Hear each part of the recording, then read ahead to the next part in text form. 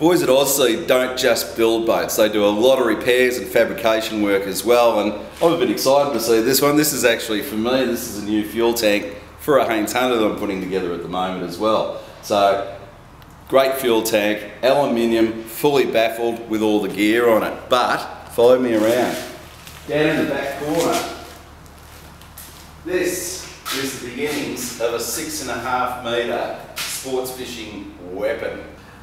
That's going to be a ripper boat. I'm really excited. I want to see that one finished. I want to drive it. But you know what? There's all sorts of work in an aluminium factory that you wouldn't even think about. Here's an inflatable boat, but it's got an aluminium structure in it and fuel tank. So the boys are actually doing some work on replumbing the whole thing uh, and repairing fuel tanks, all the rest of it. So Ozsea plate boats in Seaford not only build boats, repair boats, and now restore our boat as well.